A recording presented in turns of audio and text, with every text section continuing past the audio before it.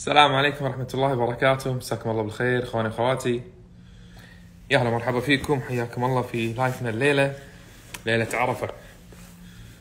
عسى الله يرزقنا ال- الحج ويا رب يهني حجاج السنة هذه اللي يمكن آه، أقل سنة فيها عدد حجاج. الله يتقبل منهم ويسر عليهم مناسكهم.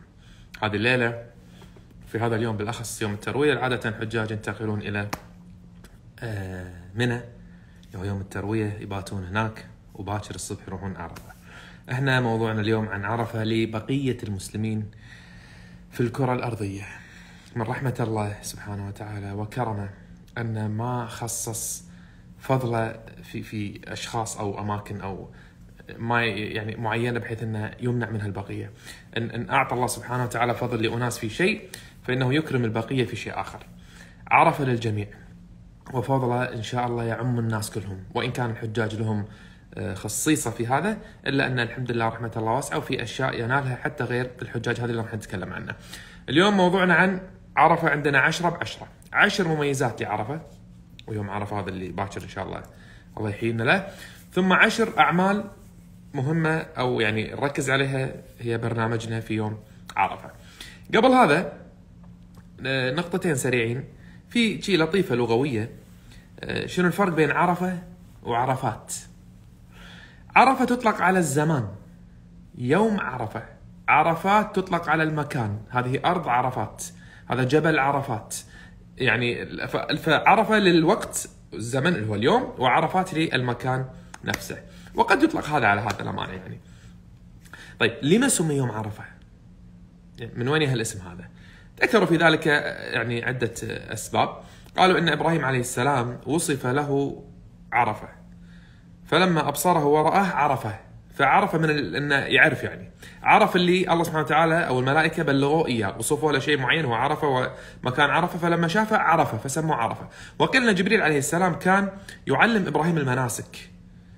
فينقله من منسك إلى منسك ويسأل عرفت عرفت عرفت إلى أن صار عرفة هذا اللي هو المكان عرفة. وقالوا لأن الناس يتعارفون في هذا المكان. الحجاج كلهم يأتون في عرفة ما يتخلف أحد فيتعارف المسلمون في هذا اللقاء العظيم آه، فعرفة من المعرفة يعرفون بعضهم البعض. وقيل وهذا من المعاني الجميلة عرفة من الاعتراف. في عرفة الناس يعترفون بذنوبهم وبأخطائهم وبسيئاتهم خلال السنة ويرجون رحمة الله سبحانه وتعالى وأن يغفر لهم هذا ال- ال- الذي مضى من ذنوبهم فهو مكان الاعتراف. وقد يعني يصدق ويطلق على كل هؤلاء ولا مانع من ذلك. طيب. شنو فضائل هذا اليوم وميزات هذا اليوم اللي خل... اللي صار بهالمنزلة العظيمة اللي الله سبحانه وتعالى جعلها له؟ أول شيء الله سبحانه وتعالى أقسم بهذا اليوم في موضعين من كتابه. والفجر وليال عشر اللي هما ليالي ذي الحجة والشفع والوتر. الشفع والوتر أي واحد فيهم عرفه؟ الوتر لأنه هو وتر تسعة. الشفع اللي هو يوم ذي الحجة آه، عشر ذي الحجة اللي هو يوم العيد الشفع عشرة. فالله أقسم بيوم عرفة ويوم عيد الأضحى كذلك. والله سبحانه وتعالى كقاعدة عامة إذا أقسم بشيء فيقسم لعظمته عنده سبحانه. له له مكانة وعظمة فيقسم به.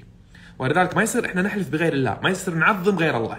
لكن الله سبحانه وتعالى يقسم بما شاء. فإذا أقسم بشيء من خلقه فلتعظيمه. فهو الشفع والوتر اللي هو الوتر عرفة. وكذلك قال الله سبحانه وتعالى والسماء ذات البروج واليوم الموعود وشاهد ومشهود. قال النبي صلى الله عليه وسلم اليوم الموعود يوم القيامة. واليوم المشهود يوم عرفة والشاهد يوم الجمعة. فبكرة هو اليوم المشهود. والله أقسم فيه أيضا. وكما قلنا الله تبارك وتعالى يقسم إلا بعظيم. فهذا الميزة الأولى أن الله أقسم فيه فيدلك على عظمته. اثنين آه، فيه تم الدين. نزلت فيه الآية اليوم أكملت لكم دينكم وأتممت عليكم نعمتي ورضيت لكم الإسلام دينا. حتى أن اليهود قالوا لعمر في عندكم آية؟ لو نزلت علينا معشر اليهود لاتخذنا ذلك اليوم عيد. هذا اليوم اللي تنزل علينا الآية اللي عندكم كان عيدنا بهاليوم هذا. آية عظيمة. قال ما هي؟ قال هذه الآية. اليوم أكملت لكم دينكم. فقال عمر إني لا أعلم أين نزلت. وك... و... وأين كان رسول الله حين, حين نزلت؟ في عرفة. لأن كان عرفة يوم الجمعة في عهد النبي عليه الصلاة والسلام لما حج. فنزلت عليه في عرفة وهو يوم جمعة وهو يوم عيد اللي هو يوم عرفة. وهذه الميزة الثالثة. بعد ما أن آه، الله أقسم فيه نزلت فيه آية إكمال الدين. يعني مثل ما إحنا الواحد يتشرف أن رمضان ليلة القدر أنزل فيها القرآن. بدأ التشريع. نقول له في عرفة ختم التشريع. وأنزل, وأنزل الله اليوم أكملت لكم دينكم. هناك اقرأ أني اليوم أكملت لكم دينكم. الميزة الثالثة أن يوم عرفة يوم عيد. قال عليه الصلاة والسلام يوم عرفة ويوم النحر وأيام التشريق عيدنا أهل الإسلام فهو يسمى عيد عندنا كمسلمين. اليوم الرابع فيه ركن الأعظم ركن الحج الأعظم. قال عليه الصلاة والسلام الحج عرفة. اللي ما يوقف بعرفة ما يلحق هذا حجه باطل. انتهى. معذور غير معذور الحج عرفة هو الركن الأعظم في آه، عرفة. خمسة. من فضائل هذا اليوم وميزاته مباهاة الله تبارك وتعالى بها العرفات إن الله يباهي بأهل عرفات أهل السماء. الله يباهي يعني بهؤلاء البشر خلق اليوم في عرفات يباهي بالملائكة انظروا إلى عبادي جاءوني شعثا غبرا من كل فج عميق ماذا يريدون؟ يعني تجلي من الله تبارك وتعالى له العرفات وهذا خاص بهذا اليوم. ولذلك آه، في كلمة كتبتها تغريدة بس ما نزلتها الحين نزلها إن شاء الله باكر. إن إحنا في كل يوم الله ينزل إلى السماء الدنيا في الثلث الأخير ليجيب الدعوات والسائلين ويعطيهم. لكن في عرفات ينزل في النهار. كل ليلة يقوم له الخلص الناس الخاص. مو كل واحد يقدر يقوم بالليل ويسأل. لكن في, في النهار كان الله سبحانه وتعالى يسهل للناس سؤاله. ونزول لهم في وقت يعني صحوهم مو مو نوم مو وقت غفلتهم. كلهم موجودين العصر الكل موجود. فينزل تبارك وتعالى السماء الدنيا ويباهي بها العرفات ويستجيب الدعوات سبحانه وتعالى. ستة. وهذا من الأمور العظيمة في عرفة. قال صلى الله عليه وسلم في الحديث إن الله أخذ الميثاق من ظهر آدم بنعمان يوم عرفة. وأخرج من صلبه كل ذرية ذرأها فنثرهم بين يديه كالذر ثم كلمهم قبلا. قال ألست بربكم؟ قالوا بلى شهدنا. شنو الموضوع هذا؟ الله سبحانه وتعالى أخذ الميثاق على بني آدم كلهم. هذا الحدث كله حدث في يوم عرفة من الخلق القديم لكن كان يوافق عرفة. وبنعمان نعمان هذا جبل قرب عرفات. فالمكان والزمان عرفة. في هذا اليوم الله أخذ الميثاق على بني آدم على هذا الذر الخلق العظيم اللي مسح ظهر آدم و وإذ أخذ ربك من بني آدم من ظهورهم ذريتهم وأشهدهم على أنفسهم. ألست بربكم؟ قالوا بلى شهدنا. هذا الميثاق اللي الله أخذ عليهم وهي الفطرة التي الله سبحانه وتعالى أعطاها بني آدم يشهدهم على التوحيد يأخذ الميثاق عليهم على توحيده. هو الرب المعبود الوحيد. هذا كان في يوم عرفة. فلذلك يوم عرفة يوم تجديد هذا الميثاق تذكيرنا فيه أن الله واحد المعبود واحد. ولعل والعلم عند الله هذا من أسرار الميزة السابعة اللي بعدها هي أن خير الذكر في عرفة أفضل ما قلت أنا والنبيون قبلي عشية عرفة لا إله إلا الله. وحده لا شريك له له الملك له الحمد وهو على كل شيء قدير. وكأن هذا الذكر صار أفضل الذكر لأنه يوافق أخذ الميثاق بالتوحيد. واضحة؟ فمن المميزات يوم عرفة أنه يوم أخذ الميثاق العهد على بني آدم. والله يذكرهم ويقرهم بتوحيده سبحانه. فصار الميزة اللي بعدها السابعة أفضل الذكر في هذا اليوم هو كلمة التوحيد. والميزة الثامنة أيضا لعلها من شيء يترتب على شيء ها؟ أن في الأذكار عندنا أذكار الصباح والمساء أن النبي عليه الصلاة والسلام قال من قال لا إله إلا الله وحده لا شريك له له الملك له الحمد على كل شيء قدير. في في حديث مرة في حديث عشر مرات في حديث 100 مرة كان كعتق رقبة من ولد إسماعيل أو أربع رقاب من أو عشر رقاب من ولد إسماعيل حسب عدد المرات ها؟ هذا الذكر تأخذ أجر عتق الرقاب. لكن في يوم عرفة صار هو يوم عتق الرقاب نفسها. يعني مو تاخذ أجر إنك اعتقت رقبه الله يعتقك أنت. الميزة الثامنة لعرفات ما من يوم أكثر من أن يعتق الله فيه عبدا من النار من يوم عرفه صار في هو أكثر يوم في العام كله في عتقاء من النار. من الأشياء اللي تكون سبب لعتقك من النار تكرار كلمة التوحيد. لأن كلمة توحيد دائما جزائها تاخذ أجر العتق. تاخذ أجر العتق. في عرفة أنت تعتق. واضحة التركيبة والفكرة؟ هذه الميزة الثامنة اللي هو يوم العتق من رب العالمين أكثر يوم في عتقاء من النار. حتى أكثر من أيام رمضان فرادى يعني لو أخذنا رمضان كل واحد بروحه عرفه أكثر منهم واحد واحد يعني. تسعة الميزة قبل الأخيرة قال صلى الله عليه وسلم أفضل الدعاء دعاء يوم عرفة. أحسن وقت بالسنة كلها تختار تدعو الله فيه يوم عرفة. فرصتك. الميزة العاشرة والأخيرة قال صلى الله عليه وسلم صيام يوم عرفة. إني أحتسب على الله أن يكفر السنة التي قبله والسنة التي بعدها كتبت بتغريدة قبل شوي دزيتها المرة مو خاشها صيام 15 ساعة باكر. 15 ساعة إحنا نصوم بالكويت تقريبا أتوقع الخليج مثلنا. صيام 15 ساعة يكفر سيئات 17280 أو 820 ساعة اللي هم مال سنتين. عدد س... كل اللي يصير بهال 17000 ساعة من سيئاتك يغفر بسبب صيامك 15 ساعة باكر هذه مميزات يوم عرفة اللي الله سبحانه وتعالى خصها فيه. طيب شنو نسوي؟ طبعا هذا البرنامج اللي هو شنو نسوي؟ برنامج هو مقترح حسب الفضائل اللي وردت والتي الله سبحانه وتعالى جعلها لنا أيضا بشكل عام. لكن إحنا يعني نقتنص هذا اليوم المبارك ومن أفضل أيام السنة لأهمية هذه الأعمال فلما تكون في يوم عرفة يكون لها الفضل العظيم. أول عمل وتحرص عليه في يوم عرفة تجديد التوبة إلى الله سبحانه وتعالى.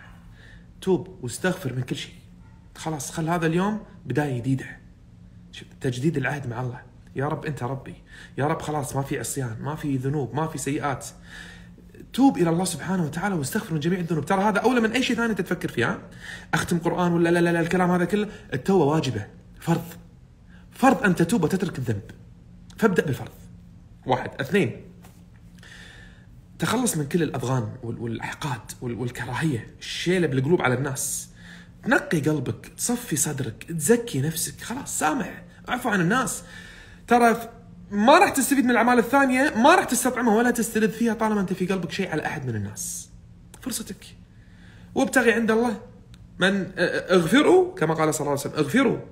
يغفر لكم وليعفوا وليصفحوا ألا تحبون أن يغفر الله لكم؟ أنت مو تبي الله يغفر لك ويعتقك من النار بس سامح الناس واصفح عنهم واغفر لهم واعفو عنهم والله يعاملك بالمثل بل أفضل. فأول شيء استغفار وتوبه تصفية القلب على الناس جميعا. ثالثا الصلوات. لا يطوفك فرض في وقته في جماعة بالنسبة للرجال والنساء في وقته مهم جدا الصلاة أهم الأعمال على الإطلاق أهم شيء تهتم فيه في عرفات هو أنك تقيم الصلاة في وقتها الصح وبالطريقة الصحيحة. والأشياء اللي تحرص عليها في الصلاة باكر حافظ عليها. أه، انتبه وركز على خشوعك فيها لأن حسبة الصلاة والأعمال في عشرة الحجة غير. خل هذه الصلوات خيرة الصلاة اللي أنت صليتها وأديتها. حافظ على خشوعك فيها.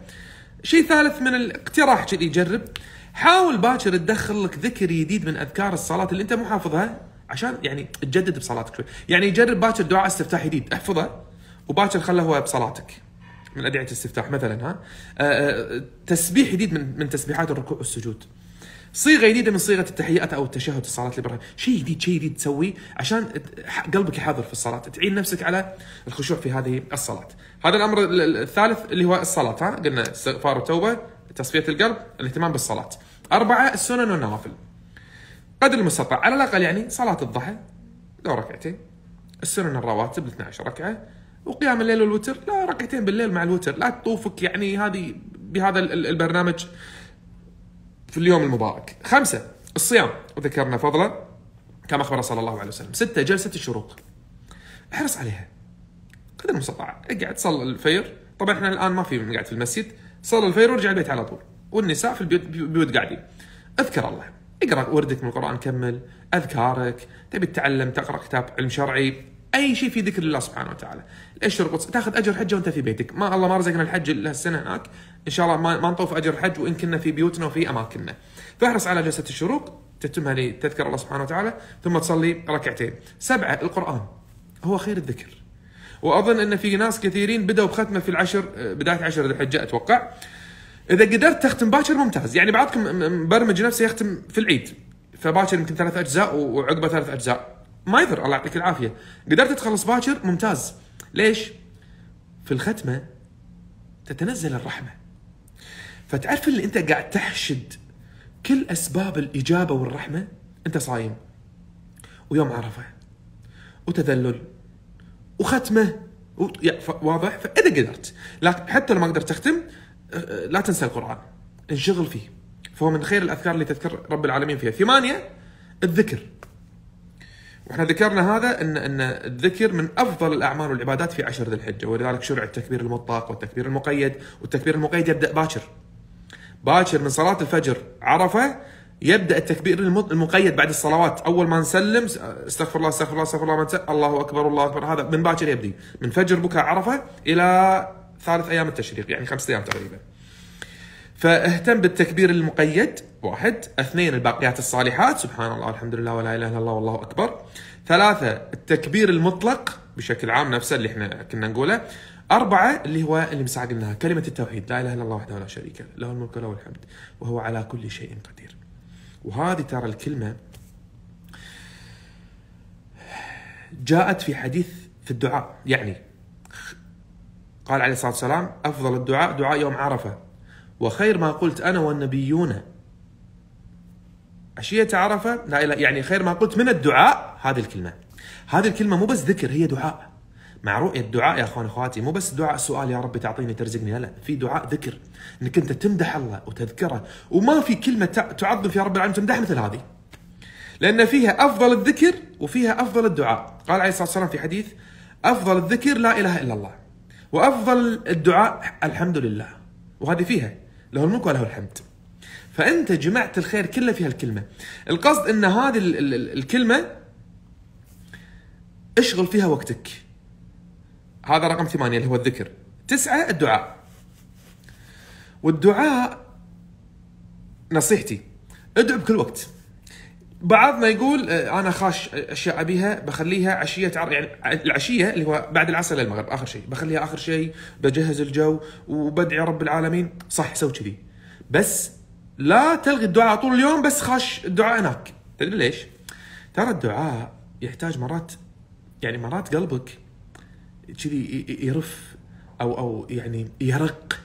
في وقت أنت ما تكون في بالك في, صلاة من الصلوات. وقت الضحى وقت الظهر غير الوقت اللي انت مخطط له. ادعو.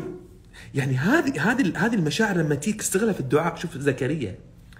لما شاف عن مريم الرزق فاكهه الشتاء في الصيف والشتاء في هذا الشيء اللي يشوفه لما شاف أن لك هذا قالته من عند الله أن الله يرزق من يشاء. بغير موقف. هذا الموقف خلى قلبه استغل هذا تعرف مرات يك- يجيك شعور ثقة بالله ما يك الوقت. إذا ياك ادعو. وهذا عشان يجيك مرات تحتاج أنت تكثر دعاء بكل وقت. لذلك دعاء لم ال- زكريا لما يا المشاعر قال هنالك دعا زكريا ربه. هاللحظة لأن هذه المشاعر مو كل وقت. أنت مرات تضبط نفسك حق هالوقت ذاك العصر قلبك مو حاضر يكون. علشان كذي ادعو من أول يوم من بدايته. من الفجر وأنت تدعو وتتكرر وتكرر كأنك قاعد تسخن تسخن قلبك بحيث انه في آخر يوم آخر ال- ال- اليوم من النهار من عرفة يكون وايد حضر قلبك. غير كذي إنك أنت تكون ألححت على الله في الدعاء. طول اليوم تتلح تلح على طلبك وعاشتك ثم آخر يوم عرفة كذلك تدعو الله سبحانه وتعالى. فلا تخصص دعائك بس بعد العصر هو الوقت الفاضل لا شك. لكن ابدأ الدعاء من الأول راح تستفيد وايد في ذاك الوقت اللي هو آخر النهار. آه، في الدعاء كذلك ال- اللي ما يدري شنو يقول أو عنده ما يمنع أخذ كتاب في الأدعية وكثيرة كتب الأدعية. اقرأها بنية الدعاء. يعني افتح الكتاب وابدأ دعاء. أنت تدعو بنية الدعاء وأنت تقرأ الأدعية كلها. يمكن ياخذ من الكتاب تقرا عشر دقائق ربع ساعة بس ما تخلي الدعاء من أدعية النبي عليه الصلاة والسلام إلا وقلته.